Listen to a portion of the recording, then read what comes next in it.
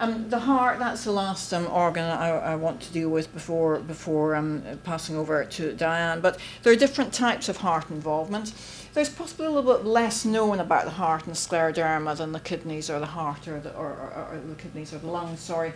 But, but it's interesting because there's a big interest now because of the imaging techniques. For example, a type of imaging called magnetic resonance imaging, you can visualize a heart. And I think because of that, and because of other uh, uh, advances, it's easier to study the heart than it used to be.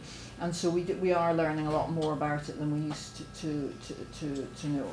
And there are different types of heart involvement. The pericardium is the, the thing that the structure, the sac that surrounds the heart, and that can become involved in scleroderma. You can get fluid in what we call the pericardial space.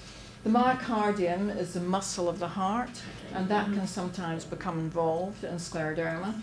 And you can also get um, what are called conduction abnormalities, because the heart has what we call a conducting system, and it can it can result in the heart either going too fast or too slowly. You know, sort of a little bit paradoxically, and we need to be aware of that possibility in those of you that have scleroderma. So the symptoms of heart disease are a little bit like lung disease. You know, people may develop breathlessness or ankle swelling or complain of palpitations. Occasionally, you can get some chest pain, although that's um, a bit less common.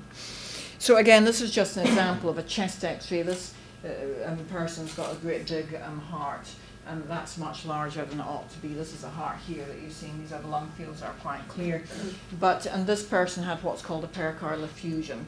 You know, they had fluid um, surrounding the heart, which um, had to get um, treated. And this is just an ECG, a cardiograph. Many of you here will have had a cardiograph, and you have to take it from me. This heart's going far, far too quickly. So that's um, not good news, and this was secondary to uh, a scleroderma um, related problem.